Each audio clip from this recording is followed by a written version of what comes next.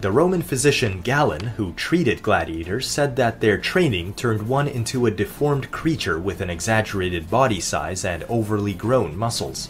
Now, Galen was a Greek, so he probably preferred moderate proportions over an excessively muscled physique. But he could also be referring to the visible asymmetry in their bodies, as most gladiators would have one side of their body vastly stronger than the other, this was no doubt because of the uneven loading of carrying a sword in one hand and a shield in the other.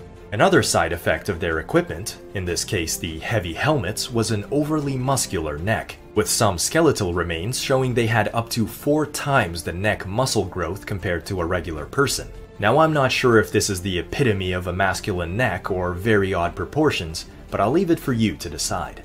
Gladiators were also not particularly lean, like Spartans or legionaries. In fact, most of them were known to carry a lot of fat,